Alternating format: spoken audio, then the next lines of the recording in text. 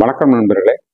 இன்னைக்கு என்ன பார்க்க போறோம்னா தலைவலி சம்பந்தமாக தான் பார்க்க போறோம். இந்த கழுத்து குரடி பக்கம் தலை இந்த சைனஸால இது மாதிரி நிறைய தலைவலி வந்து வந்துட்டே இருக்கும். அப்புறம் உடம்புல கிட்டத்தட்ட நிறைய டைப் தலைவலிகள் இருக்கு. அதுல எந்த இடத்துல வயிற்றுல பிரச்சனாலும் தலைவலி வரும். மூட்டுல பிரச்சனை கூட தலைவலி வர்றதுக்கான இதெல்லாம் இருக்கு. உடம்புல அது மாதிரி என்ன பிரச்சனைகளாலும் முதல்ல நமக்கு வெளிக்காட்டுறது தலைவலியா இருக்கும் திடீர்னு ஒரு கொஞ்சம் டென்ஷனான தலைவலி வந்துடும் சைட்லேருந்து கண்ணில் வெளிச்சம் பட்டா தலைவலி வந்துடும் கண்ணில் பிரச்சனைனா தலைவலி வந்துடும் இப்படி நிறைய தலைவலிகள் இருக்கு இல்லையா? இது மாதிரி திடீர்னு ஏற்படுகிற தலைவலி அதை வந்து வெகு வேகமாக இந்த முத்திரைகள் மூலியமாக சரி பண்ணிடலாம். வேறு உடலில் பிரச்சனையால தலைவலியாக இருந்தால் அப்போதைக்கு தலைவலி குறையும். திரும்ப தலைவலி வரும். ஏன்னா அந்த பிரச்சனை சரியாகலைங்கிறது தான். ஸோ அந்த மாதிரி திடீரென்று ஏற்படுகிற தலைக்கூடிய தலைவலியை உடனடியாக போக்கிடலாம்.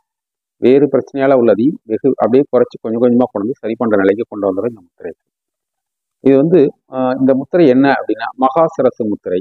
இந்த முத்திரையோட என்னென்ன முத்திரை சேர்த்து பண்ணுனா அதோட பலன் முழுமையா கிடைக்கும் அப்படிங்கிறத நீ பார்க்க போறோம். வாங்க பதிவுக்குள்ள போகலாம்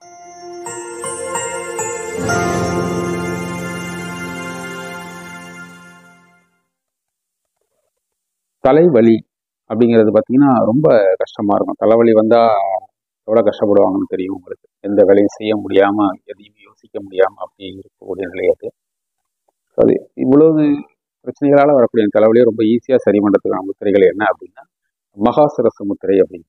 ஆனால் அதற்கு பக்கபலமாகவும் அதோட பலனை அதிகப்படுத்தி வெகு வேகமாக சரியாகிறது இன்னும் ரெண்டு முத்திரையை சேர்த்து செஞ்சால் இன்னும் நல்ல பலன் கிடைக்கும் அப்படிங்கிறது தான் நம்ம இப்போ முழுமையாக பார்க்க போகிறோம் அதில் முதல் முத்திரை என்ன செய்யணும் அப்படின்னா பிராணமுத்திரை அப்படிங்கிறத முதல்ல செய்யணும். பிராணமுத்திரைங்கிறது துண்டு விரல் நுனியும் மோதிர விரல் நுனியும் கட்ட விரல் நுனியும் சேர்த்துட்டு மற்ற ரெண்டு விரலையும் நீட்டி இருக்கணும் அதாவது ஆள்காட்டி விரலையும் நம்மளோட நடுவிரலையும் நீட்டி இருக்கணும் அது மாதிரி இருக்கக்கூடியதான் பிராணமுத்திரை. இந்த பிராணமுத்திரை ரெண்டு கையிலையும் வச்சுக்கிட்டு ஒரு இருபது மூச்சு பிராணமுத்திரை பண்ணுறோம்.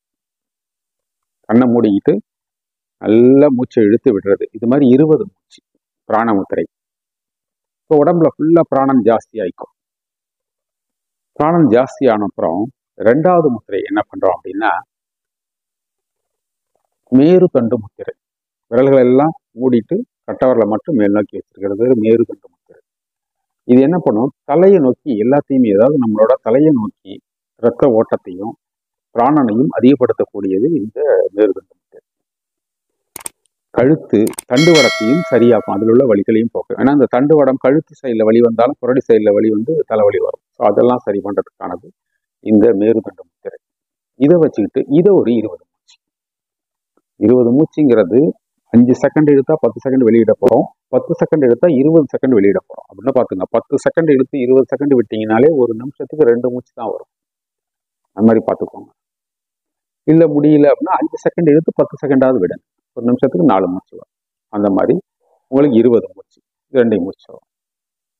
மூன்றாவதாக இந்த மகாசிரச முத்திரை அப்படிங்கிறத பண்ண போகிறோம் மகாசிரச முத்திரை அப்படிங்கிறத எப்படி பண்ணணும் அப்படின்னா சுண்டு விரலை அப்படியே நீட்டி வச்சுக்கோங்க. அதுக்கு அடுத்த மோதிர விரலை மடக்கி உள்ளங்கையில் வச்சிருங்க. மிச்சம் இருக்கிற ரெண்டு விரல் இருக்கு இல்லையா?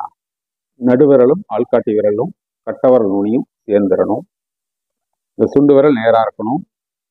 அடுத்த விரல் அதாவது மோதிர விரல் மடங்கி உள்ளங்கையில் இருக்கணும். அவ்வளவுதான். இதான். இப்படி பண்றதுதான் பேர் மகாசிரச முத்திரை. இதுக்கு நேராக இது இருக்கணும். மூன்று விரல் நுனியும் சேர்ந்துருக்கணும். மோதிர விரல் மடங்கி இருக்கணும். இது மாதிரி ரெண்டு கையிலையும் வச்சுட்டு மகாசிரச முத்திரையும் வச்சு நேராக நிமிர்ந்து உட்காருங்க கண்டோட நேராக இருக்கணும்.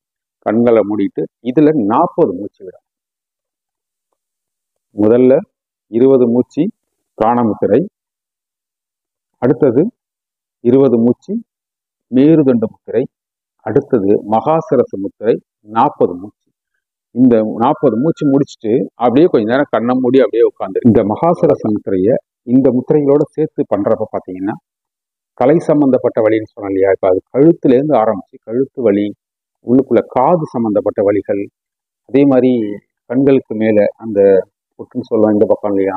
இங்கெல்லாம் வர்ற அதனால நீர் கோர்த்துக்கிட்டு வர்ற வழிகள் இப்படி தலையில எந்த மாதிரியான வழி எந்த பிரச்சனையா இருந்தாலும் வெகு வேகமா இதை சரி பண்ணும் அப்படிங்கிறது. என்ன காரணம்னா இதுல சொல்லியிருக்கிற முத்திரைகளை பார்த்தீங்கன்னா முதல்ல பிராணசக்தி உடம்புல அதிகப்படுத்தும். அடுத்த முத்திரை வந்து தலையை நோக்கி அந்த பிராணனையும் ரத்தத்தையும் அனுப்பும். அடுத்தது செய்யக்கூடிய மகாசுரச முத்திரை என்னன்னா உடல் அந்த அதே மாதிரி ரத்த ஓட்டத்தையும் பிராணனையும் சேர்த்து தலை பக்கம் அனுப்புறதுனால நம்மளோட தலைக்கு ரத்த ஓட்டம் நல்லா இருக்கும்.